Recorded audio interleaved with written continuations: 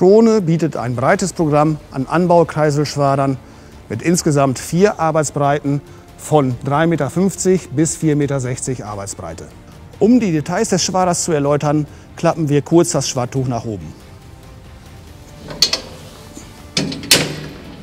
Der Schwader ist mit kurzen Dämpferstreben und einer patentierten Ausgleichsschwinge ausgestattet.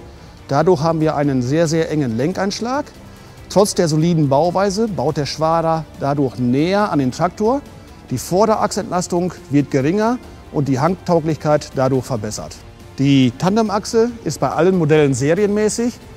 Damit wird die Lage auf dem Feld verbessert, die Rechtqualität erhöht sich dadurch.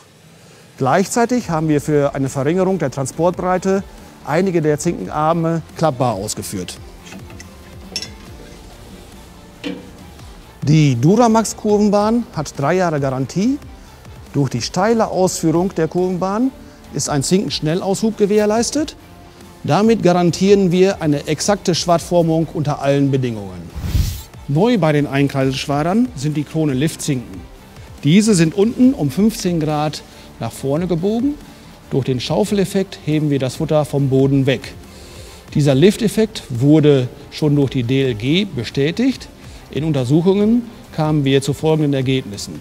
Wir können bei gleicher Fahrgeschwindigkeit die Rechverluste von 1,6 Prozent auf 0,6 Prozent minimieren. Auf der anderen Seite können wir gleichzeitig den Abstand zum Boden etwas erhöhen, bis um einen Zentimeter. Das führt zu geringerer Futterverschmutzung und wir können gleichzeitig die Fahrgeschwindigkeit von 8 auf 10 Kilometer pro Stunde erhöhen. Das führt natürlich zu erhöhten Flächenleistungen.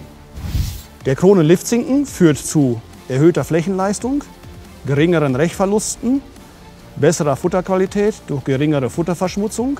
Alles in allem bedeutet das mehr Ertrag aus dem Grundfutter.